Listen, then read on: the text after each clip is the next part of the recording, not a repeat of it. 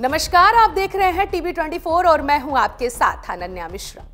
समान नागरिकता संहिता, यानी कि यूसीसी को हमारे संविधान में राज्य के नीति निर्देशक सिद्धांतों के अनुच्छेद 44 के तहत परिभाषित किया गया है। इसमें कहा गया है कि पूरे भारत में नागरिकों के लिए एक समान नागरिकता संहिता सुनिश्चित करना राज्य का कर्तव्य होता है। दूसरे शब्दों में कहा जाए तो इसका अर्थ है कि एक देश में एक नियम हो सकता है।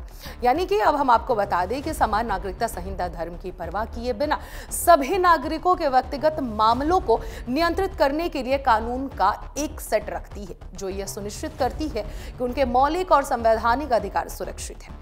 और इस कानून को लागू करने के लिए पूरे देश में सबसे पहला राज्य उत्तराखंड बना है, जो इस कानून को सबसे पहले अपने राज्य में लागू करेगा। वहीं आज इस कानून के विधेयक पर राष्ट्रपति द्रौपदी मुर्मू की मंजूरी भी मिल गई है। जी हाँ आपको बता दें कि उसको लेकर उत्तराखंड के मुख्यमंत्री पुष्कर सिंह धामी ने धन्यवाद भी राष्ट्रपति को दिया है।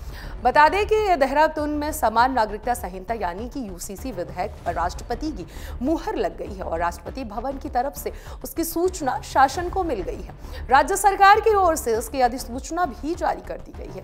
अब नियमावली की बात की जाए तो नियमावली बनते ही उत्तराखंड में यूसीसी कानून को लागू करने वाला देश का सबसे पहला राज्य बन जाएगा। इधर मुख्यमंत्री पुष्कर सिंह धामी की बात कही जाए तो पुष्कर सिंह धामी ने विधेयक को मंजूरी देने पर राष्ट्रपति द्रौपदी मुर्मू का आभार आभार भी व्यक्त किया है।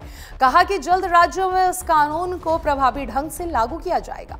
राज्य विधानसभा में 6 फरवरी को देश का सबसे पहला बड़ा यूसीसी कानून लाने के लिए विधेयक को मंजूरी दी गई थी। चूँकि यह विधेयक संविधान के अनुच्छेद चौवालीस के अधीन था, इसलिए इस विधेयक को कानून के रूप में लागू करने के लिए राष्ट्रपति की मंजूरी ज़रूरी थी। सरकार ने यह विधेयक राज्यपाल को भेजा और राज्यपाल ने संविधान के प्रावधानों के चलते राष्ट्रपति को मंजूरी के लिए भेजा। आज राष्ट्रपति द्रौपदी मुर्मू ने उत्तराखंड सरकार के इस महत्वपूर्ण विधेयक को कानून के रूप में लागू करने पर अपनी मुहर लगा दी मुख्यमंत्री ने कहा कि हम सभी प्रदेशवासियों के लिए यह अत्यंत हर्ष और गौरव का क्षण है कि हमारे सरकार द्वारा उत्तराखंड विधानसभा में पारित सम्मान, नागरिकता संहिता विधेयक को राष्ट्रपति द्रौपदी मुर्मू जी ने अपनी मंजूरी प्रदान की है। निश्चित तौर पर प्रदेश में समान नागरिकता संहिता कानून लागू होने से सभी नागरिक को समान अधिकार मिलने के साथ ही महिलाओं पर हो रहे उत्पीड़न उत्पीड़न पर भी लगाम लगेगी। प्रदेश में सामाजिक समानता की सार्थकता को सिद्ध करते हुए समरसत्ता को बढ़ावा देने में यूसीसी कानून अपनी महत्वपूर्ण भूमिका निभाएगा। वहीं मुख्यमंत्री धामी ने कहा कि प्रधानमंत्री नरेंद्र मोदी जी के विजन के अनुरोध हमारी सरकार नागरिकों को हितों में संरक्षण और उत्तराखंड के मूल स्वरूप को बनाए रखने के लिए संकल्पित है।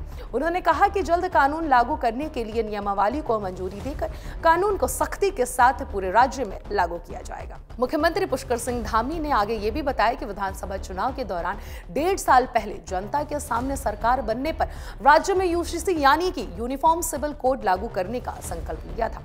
वहीं आज की अगर बात कही जाए तो वहीं जब सरकार बनी तो मुख्यमंत्री धामी ने सबसे पहले कैबिनेट में यूसीसी का प्रस्ताव लाया। उसके बाद कानून विशेषज्ञों की बात कही जाए तो कानून विशेषज्ञों की कमेटी गठित कर यूसीसी पर लगातार बैठकें जनता के सुझाव लेकर 6 फरवरी को विधानसभा में विधेयक पर चर्चा करने के बाद मंजूरी दी।